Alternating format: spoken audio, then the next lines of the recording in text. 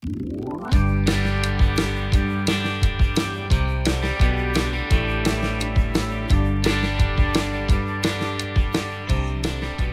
ihr Lieben, herzlich willkommen zu meinem neuen YouTube-Video. Mein Name ist Verena, ich bin unabhängige Stampin'-Up-Demonstratorin und heute ist wieder ATC Mittwoch. Und da zeige ich euch einmal ATCs, die ich äh, in der letzten Zeit bekommen habe. Und wir basteln auch ATCs, denn ähm, ich bin in so einer Tauschgruppe, wo jede Woche getauscht wird und ähm, immer zu einem unterschiedlichen Thema. Und das Thema dieses Mal ist Ton in Ton. Jetzt zeige ich euch aber zuallererst die ATCs, die ich das letzte Mal bekommen habe. Und zwar zum Thema Gold.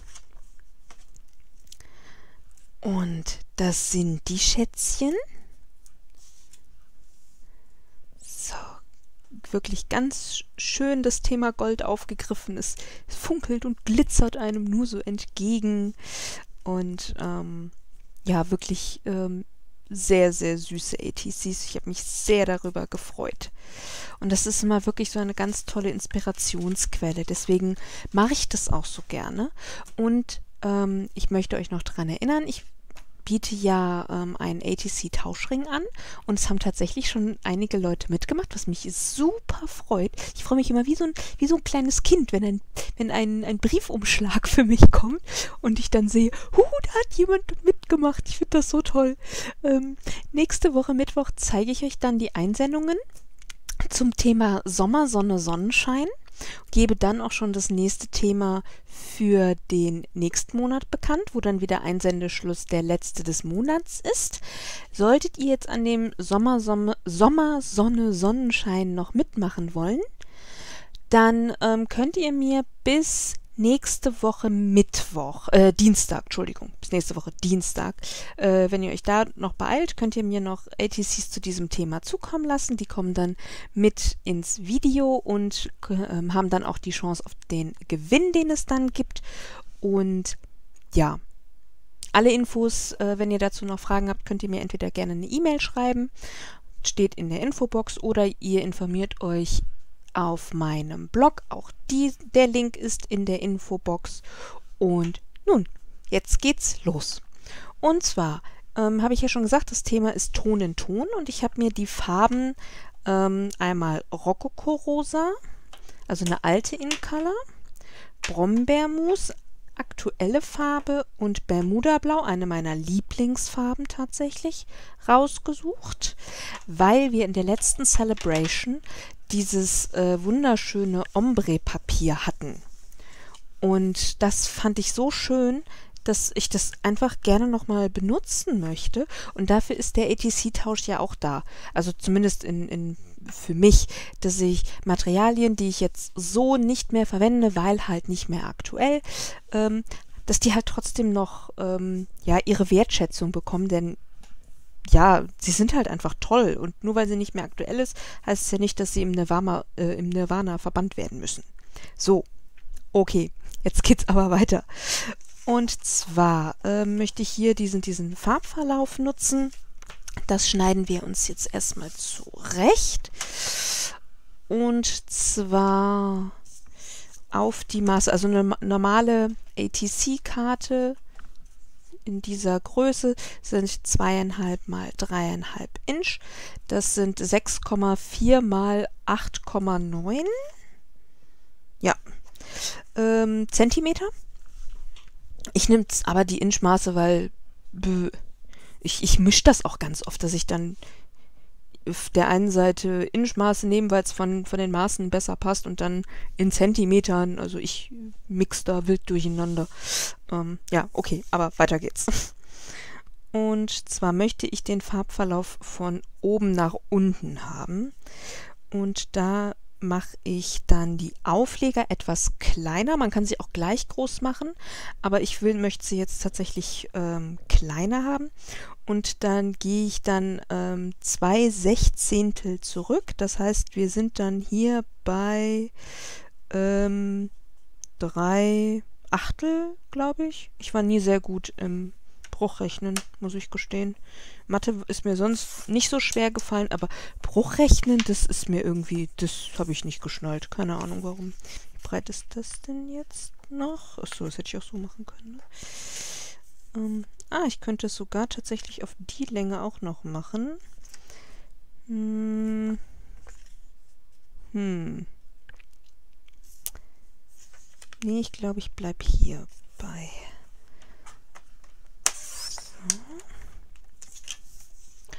Und dann brauchen wir hiervon noch einen Streifen.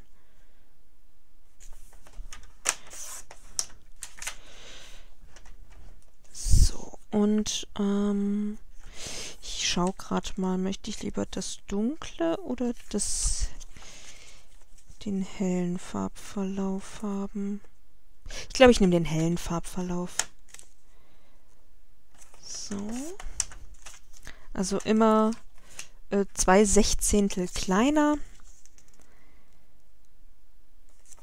damit man dann einen kleinen Rand hat. So, und hier nehme ich dann das Rokoko-Rosa. So. Papiere zugeschnitten. Und, huch. So, und jetzt habe ich hier die drei Papiere und jetzt habe ich mir aus verschiedenen Stempelsets ähm, einmal aus äh, Zenny Zebras, das war im letzten Jahreshauptkatalog, das äh, Grüße auf vier Hufe mit diesen coolen Eseln, das war aus der letzten Celebration. Und die Schneckenpost, die ich wirklich so abgefeiert habe. Ich finde die so witzig. Auch das Designerpapier war der Hit. Also ich finde die einfach nur geil. Ähm, das ist aus dem letzten äh, Frühjahr-Sommer-Mini-Katalog. Und da nehme ich dann jeweils einen Stempel draus für den Spruch, nämlich das zauberhafte Grüße. Das ist noch im Katalog, das könnt ihr noch holen. Ähm, Link findet ihr wie immer in der Infobox. So, und zwar, welche Farben nehme ich denn jetzt? Ähm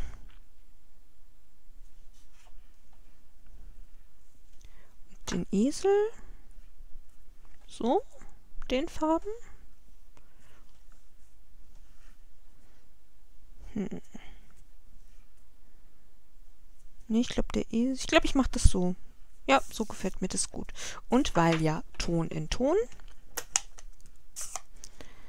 stempel ich dann die Abdrücke im gleichen Ton, wie das Designerpapier ist. So. Und dann jetzt hoffen, dass ich nicht verrutsche. So.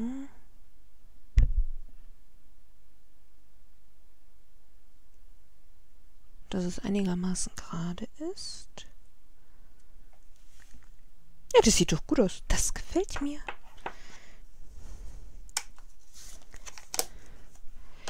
So. Dann haben wir hier Bermuda Blau. Und das Eselchen. Immer gucken, dass der Stempel gut benetzt ist, damit das auch passt. Zack. Hi. So, die mache ich gleich dann alles sauber. Das ist ja... Ihr wisst ja, dass ich die dann... Also, dass man die Stempel danach halt reinigen muss. Damit sich die Farbe da nicht dran festsetzt und ihr, wenn ihr dann in eine andere Farbe geht, ihr euch dann die anderen Stempelkissen nicht versaut. So.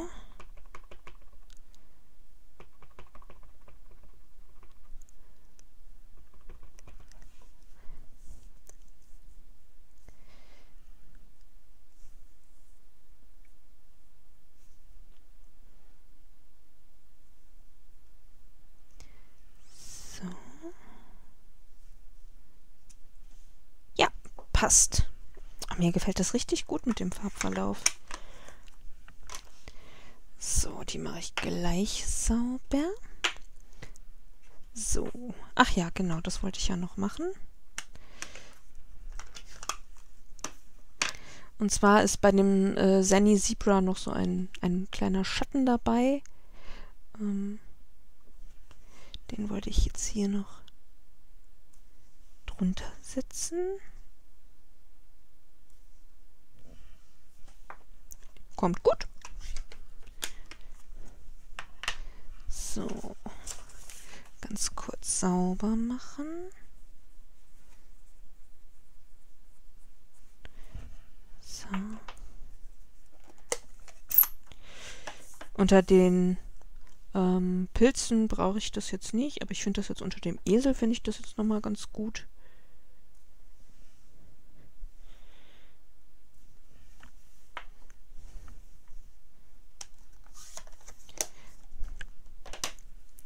So. Dann war es das eigentlich schon mit dem Stempeln. Aber ich will da jetzt nochmal mit ähm, einem Wassertankpinsel dran gehen. So, einfach um so noch so ein paar Akzente da reinzusetzen. So.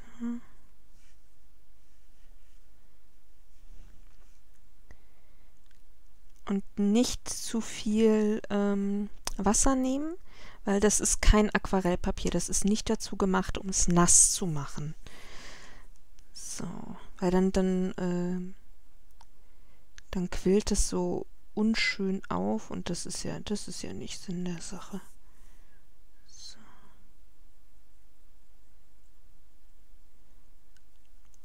Aber wenn ihr das äh, mit einem fast trockenen Pinsel macht,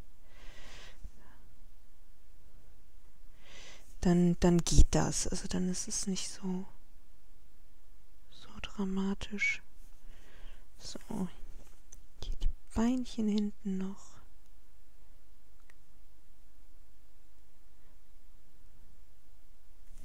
Gibt das Ganze noch ein bisschen mehr Dimension.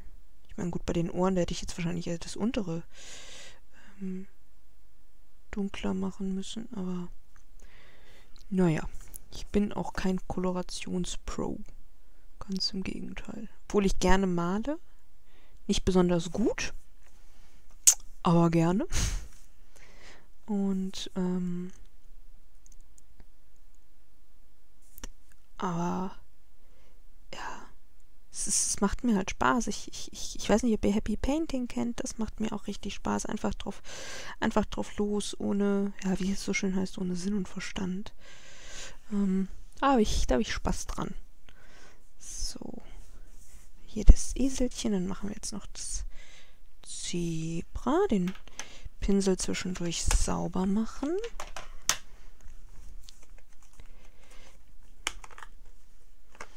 So.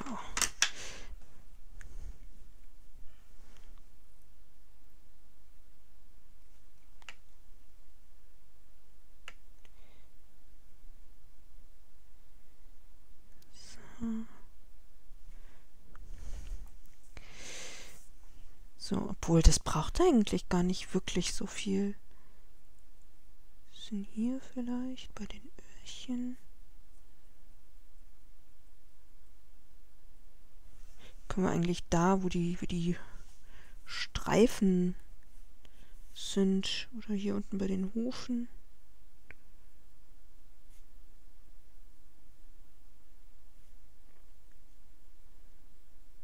Ich mag halt auch diesen, diesen diesen Look, diesen etwas kritzligen, ähm, mag ich echt gerne, gefällt mir richtig gut. Aber man schafft sich ja nicht nur ein Stempelset an, sondern es werden ja immer, immer viele Stempelsets, weil dann ist, findet man da das toll und da das toll und dann wandert das in den Warenkorb. Ja, und dann kommt man gar nicht dazu, dass die Sachen alle so zu würdigen, ähm, wie das, wie das sein sollte, was wirklich schade ist. Und ja, so. Das ist auch fertig. Dann machen wir jetzt noch die Pilze.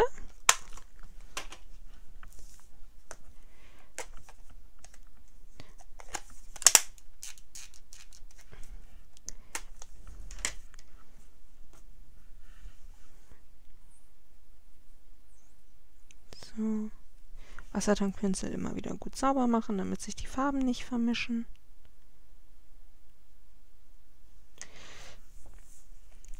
Dann geht das jetzt hier.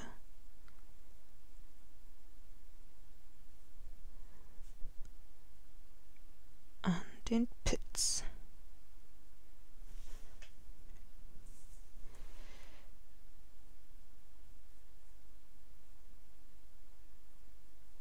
So, das sind auch so Sachen, das könnt ihr dann machen, wie es euch am besten gefällt.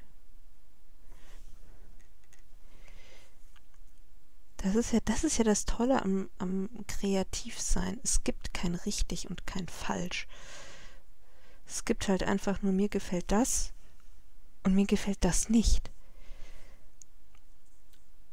Und das ist halt, finde ich, so unglaublich wertvoll. Denn, ja, über Geschmack lässt sich halt bekanntlich nicht streiten, ne?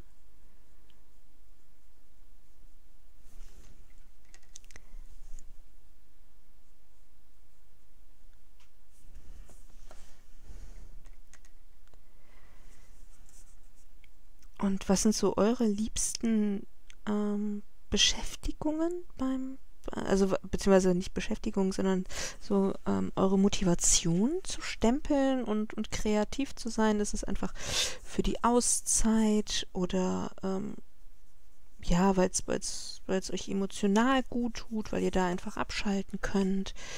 Oder ähm, ja, was auch immer ihr für Gründe habt. Also, ich meine, ich habe mit dem Stempeln angefangen, weil ich damals Seifen gemacht habe und äh, Verpackungen für meine Seifen gebraucht habe. Seifen mache ich im Moment nicht mehr, dafür aber alles andere. ähm, also das, das Stempelhobby ist, ist, ist mir schon zum Glück lange geblieben und ich lieb's halt einfach. Und das ist für mich wirklich so ein, so ein schöner Ausgleich und ähm, es macht mir auch Spaß, anderen damit eine Freude zu machen und das ist halt einfach so wichtig für mich und auch für, ja, für mein Seelenheil quasi, dass, ähm, ja, ich kann dabei auch abschalten und es ist halt für mich halt einfach wirklich ein ganz tolles, ideales Hobby.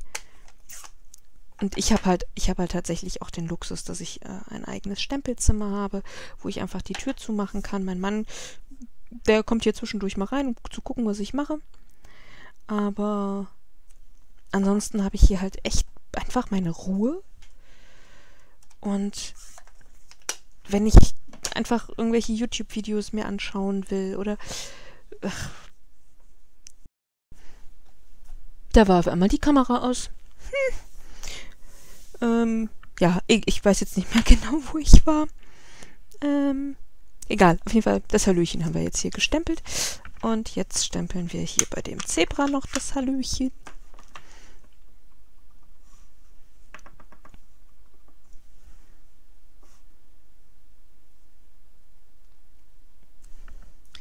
So, und ich habe mich auch extra dazu entschieden, das relativ äh, klein zu halten. Ähm, jetzt nicht da irgendwie noch mit Ausstanzungen zu arbeiten, weil ich ja Ton in Ton bleiben will. Jetzt bin ich nur am Überlegen, weil so ist es ja schon. Habe ich es falsch geschnitten? Sieht so aus. Bei den anderen passt es, aber hm, muss ich hier nochmal nachschneiden.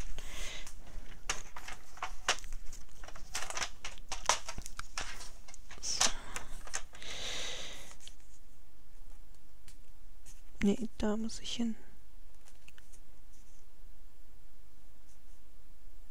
Ah, ja, okay. so, da habe ich falsch geschnitten. Ähm, Jetzt überlege ich noch, weil das ist, das ist wirklich sehr, sehr einfach. Aber ich wollte da jetzt auch nicht irgendwie noch mit groß mit Ausstanzungen oder sowas arbeiten. Passendes Washi habe ich jetzt auch nicht da, dass das Ton in Ton ist. Hm.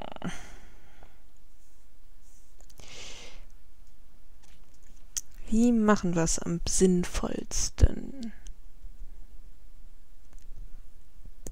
Ein bisschen Glitzer kann auf jeden Fall noch drauf.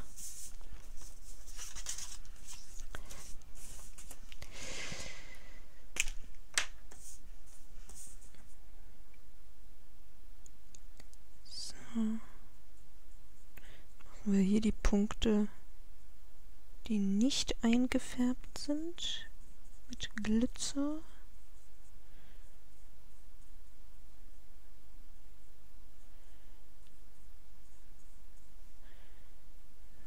So.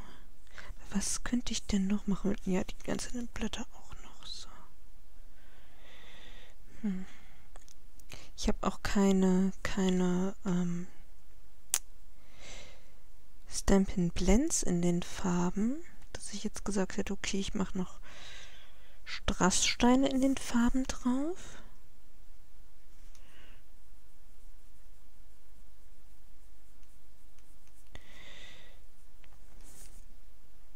Hm. Was wären denn jetzt noch so eure Ideen, was euch jetzt hier noch, wenn ihr das seht, so einfallen würde?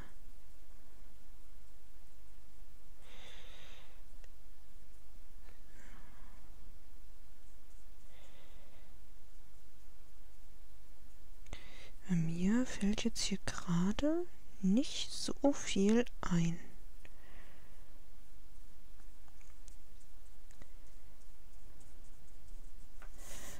So.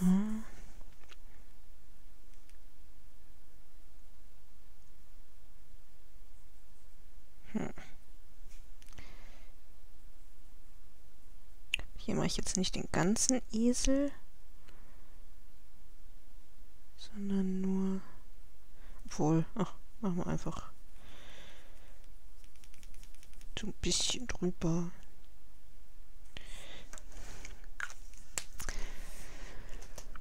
Welche Blends habe ich denn, die vielleicht von den Farben her so ähnlich sind? So, ich habe meine Blends hier in so einer Schublade. Ich mache mal kurz den Ton ein bisschen weg, damit es nicht so laut ist.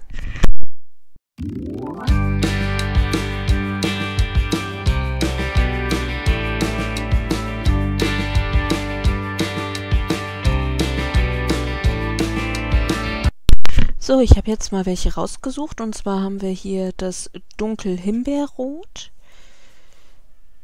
das Dunkel Flamingo und das ähm, helle Pfauengrün. Die passen zumindest ansatzweise. So, wieder wegräumen.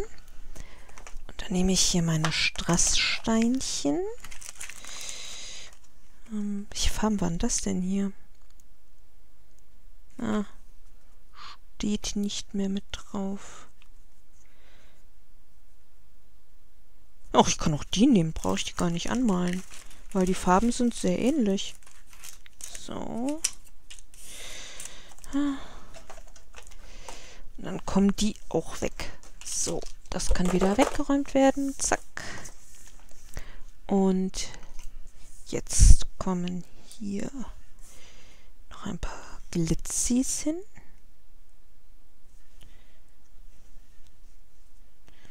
Ganz klein habe ich von denen gar nicht mehr. Ah. Nee, gab keine ganz kleinen, sehe ich gerade. So. Passt jetzt natürlich nicht 100%, aber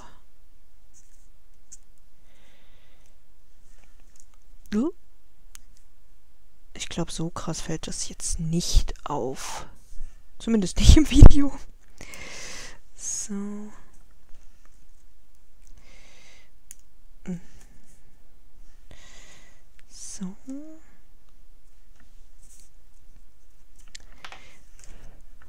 So. Hm. Hm, hm, hm.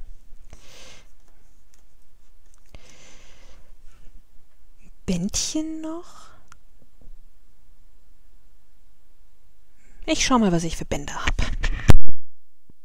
So, Bändchen habe ich auch gefunden. Ähm, ah, das ist sogar Brombeermus. Das ähm, müsste eigentlich Flamingo sein.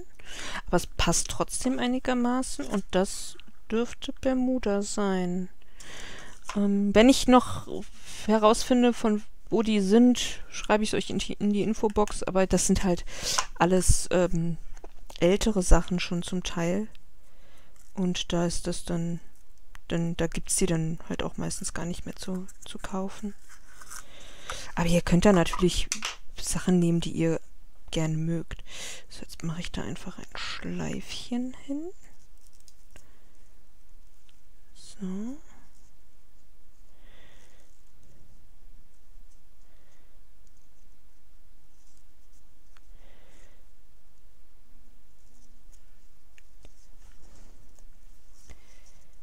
Hm. Das sieht irgendwie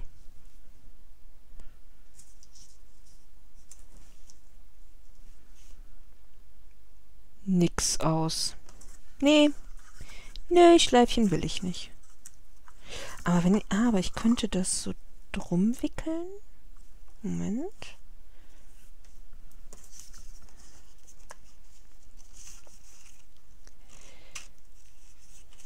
Ja, ich sollte es vielleicht auch festhalten, wenn ich es drum wickeln will.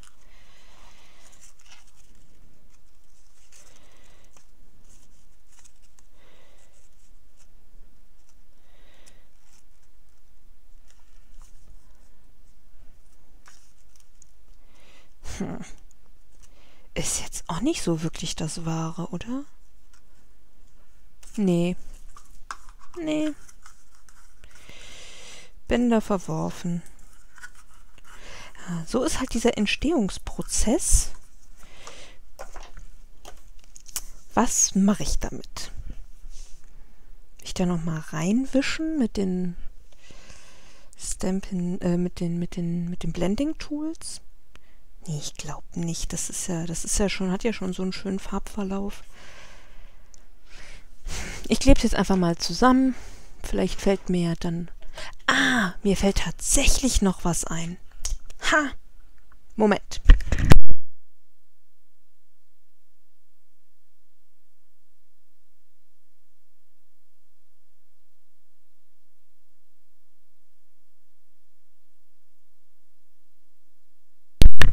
Jo, tada! Ähm, den gab's mal von Stampin' Up. Ich habe den aber bei eBay, ge nee, bei, bei, beim großen A gekauft. Ähm, das ist ein, ein Spritzer. Damit äh, kann man so pusten. Und dann hat man hier die Ausbuchtung für einen Stift und da passen unsere äh, Stampin' Right Marker rein. Und dann nehmen wir hier, ist das sogar Brombeermus? Das ist Brombeermus. Sehr schön. Dann haben wir... Was ist das? Es dürfte Flamingo sein. Genau, das... Oder lieber... Was ist das hier? Zarte Pflaume. Na, ich glaube, zarte Pflaume passt besser. Und was haben wir hier? Lagunenblau. Das sind halt wirklich alte Incolors. Ich kann mich von denen halt nicht trennen, weil Warum auch? Ähm, aber dann zeige ich euch jetzt mal, wie das geht. Und zwar steckt ihr halt einfach hier den Stift rein, bis vor die Spitze, dreht den, uh, so, dreht das hier fest. Das merkt ihr auch, dann rüttelt sich da nichts mehr. Und dann geht ihr halt einfach, huch, das war ein bisschen viel, Und dann habt ihr hier so einen Sprenkelhintergrund. Gucken, ist das so besser? Nee, so macht es gar keinen Sinn.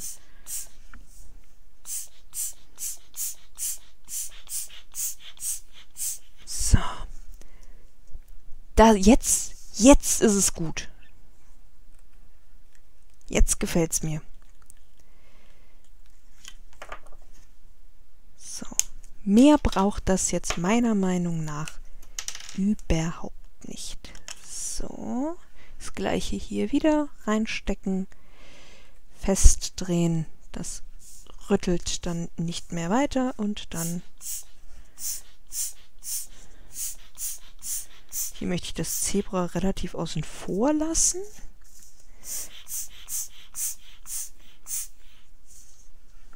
So, Hand drauf. Ist wasserbasierend. Kann ich wieder abwaschen. So. Ah. Huch. Seht ihr mal, das habe ich schon Ewigkeiten nicht mehr benutzt. Und das macht doch richtig was her.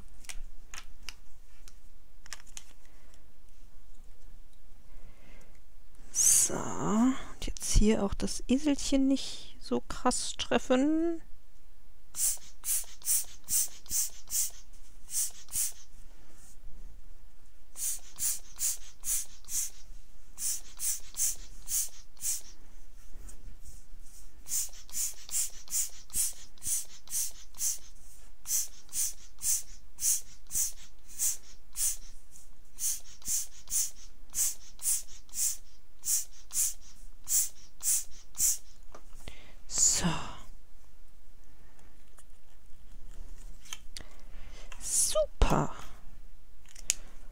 Und jetzt müssen die nur noch übereinander, also aufeinander geklebt werden auf die ähm, Kärtchen.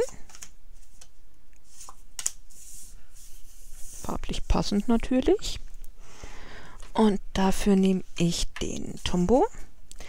Ich nehme tatsächlich, ähm, ah, ich, seht ihr, weil ich es nass gemacht habe, sieht man das hier jetzt so ein bisschen durch. Ähm, aber ist ja die Rückseite.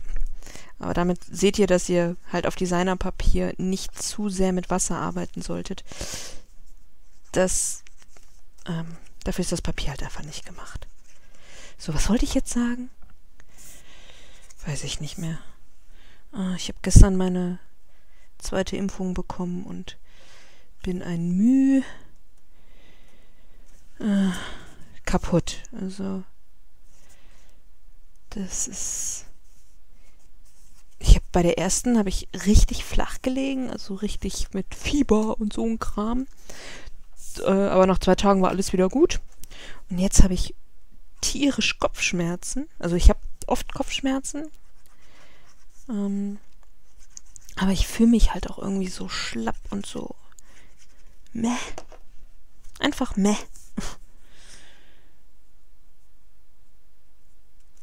Aber ich hatte heute zum Glück Homeoffice. Und das bedeutet, dass ich dann halt entweder früher anfangen kann oder länger schlafen kann. Ich habe mich dann heute für ähm, länger schlafen entschieden. Und ja, ich glaube, das hat auch ganz gut getan. Weil, ja, als Kind habe ich irgendwie gar nicht auf sowas reagiert und naja, mit dem Alter kommt's dann. So. Das sind meine ATCs für heute im Thema Ton in Ton. Ich hoffe, euch hat das Video gefallen. Ich hatte auf jeden Fall Spaß, wieder was ähm, auszuprobieren und ein bisschen zu gucken, wo kann die Reise hingehen. Ich habe halt nicht viel vorbereitet, außer die Stempelsets ähm, und die Farben. Und ja, ich bin echt glücklich damit, wo die Reise hingegangen ist. Und ja, ich wünsche euch einen wunderschönen Tag, einen wunderschönen Abend und bleibt kreativ. Und ja, ich freue mich, wenn ihr beim nächsten Mal wieder dabei seid und wenn ihr den Kanal abonniert, mir einen lieben Kommentar da lasst und wenn wir uns dann im nächsten Video sehen. Bis dann, tschüss!